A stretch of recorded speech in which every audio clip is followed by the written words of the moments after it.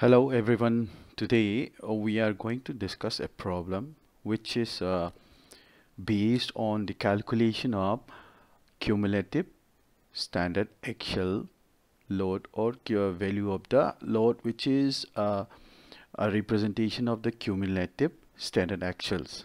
Now why is it required? Now for designing a flexible pavement we need the overall effect of all the repetitions of each vehicle class. So we have to get an idea about the effect of the load of the various vehicles which may occur throughout the lifespan of a particular pavement. So what is CSA? CSA or the cumulative standard axles it is the effect of the load repetitions of each vehicle class during the desired design period of n number of years. So it is represented by the formula which is given below as CSA equals to 365 into 365 into NF 1 plus R M plus N.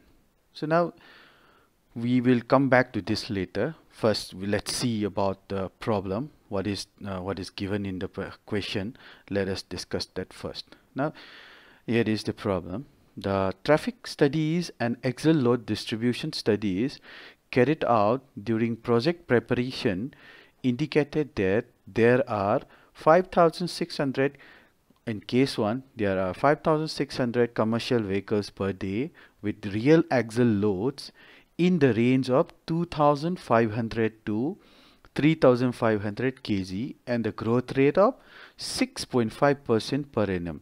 Now here one class of the vehicle is given in which 5600 commercial vehicles per day will be occurring. The traffic study the states that the number of commercial vehicles will be around 5600 commercial vehicles for a day.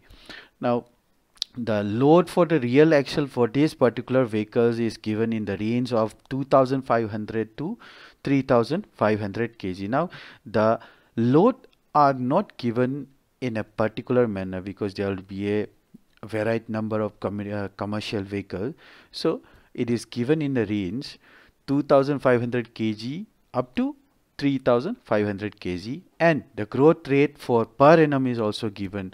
The number of uh, the, the the rate of growth of the vehicles is also given. Here it is 6.5 percent per annum. And for the second class 1900 heavy commercial vehicles with rear axle loads in the range of 11000 to 13000 kg. And the growth rate will be around 4.5% per annum. The road pavement is expected to be constructed in a period of three years after this study. The road uh, in this question it is stated that the road will be constructed in a period of three years after the study. So after this traf particular traffic study, the road will be started construction after a period of three years and the flexible pavement structure is to be designed for a design life of 15 years. Now here the road will start constructing after th three years of the study and the design life of the particular pavement structure is 15 years. Now we have to determine or determine the value of CSA that is cumulative standard axle load.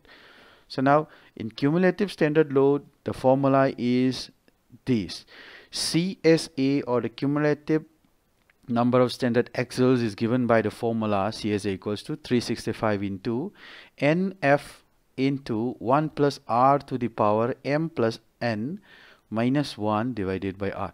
Now let's see what are the notations. What what are these N, F, R, M and N?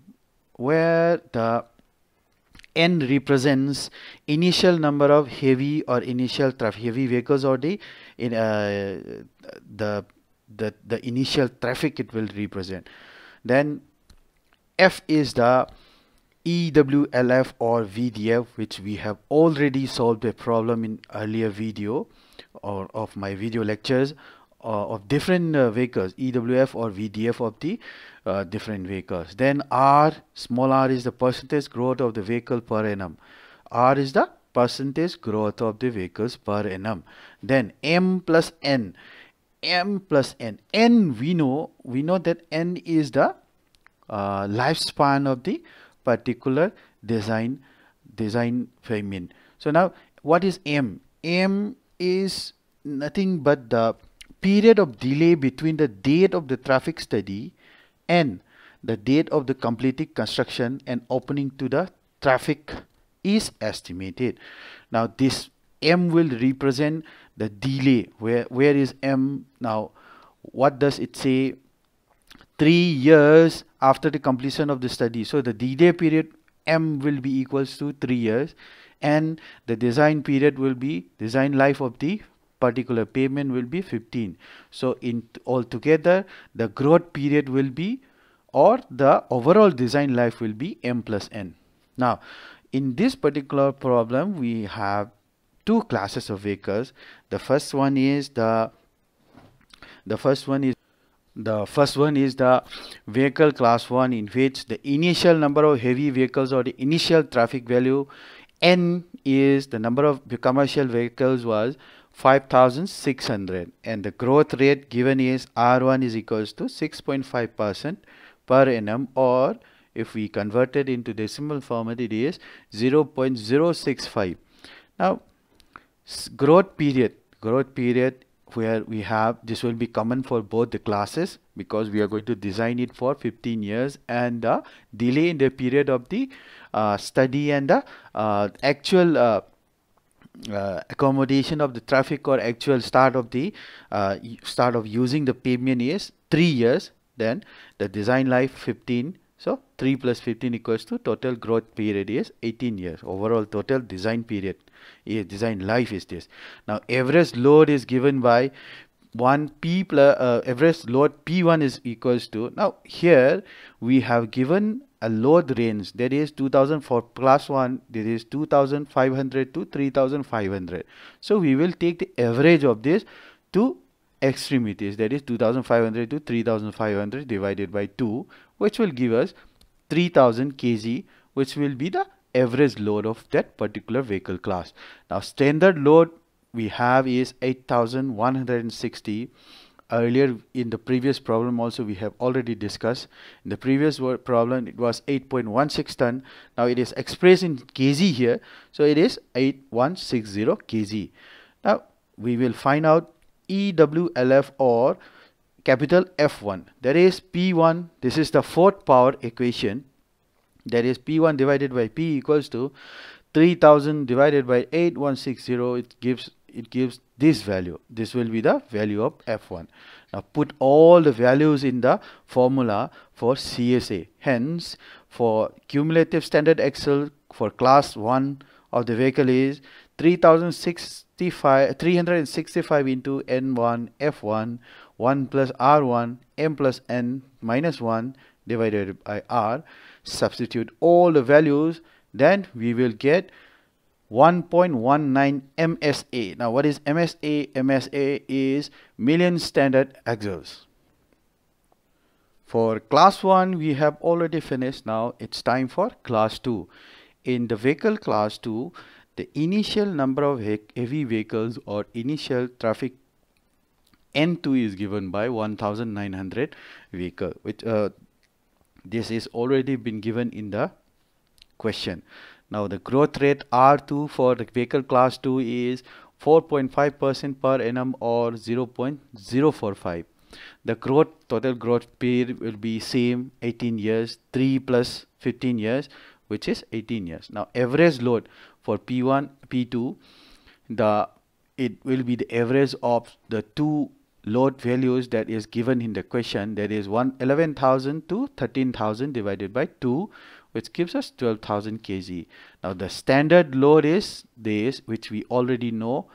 We have already solved this particular similar to this particular uh, uh, uh, the this particular equation we have already used in previous problem also substituting p uh, p2 and p1 in this particular formula we get the value of f2 or ewf2 This should be EWF2 or VDF2 is given as 4 1 uh, 4.677 now substitute all the values of n2 f2 r2 m plus n and r2 in this particular formula we get the value of CSA2 or the cumulative standard axle value of the vehicle class 2 as 87.07 million standard axles.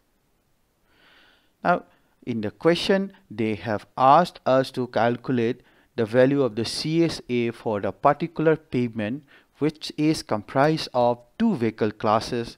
First class was 5600 commercial vehicles per day and the second class was 1900 vehicle commercial heavy commercial vehicles per day. So the designed value of the CSA will be the cumulative of both the standard axles, cumulative standard axles, that is CSA1 plus CSA2. The value of the CSA1 was 1.19 MSA and the CSA2 was 87.07 MSA. So the total value or the total design value of CSA or cumulative standard axle value is 88.26 or let us say 88 MSA. Thank you everyone. We will come back to you after. Uh, we will come back with some other problems next time. Thank you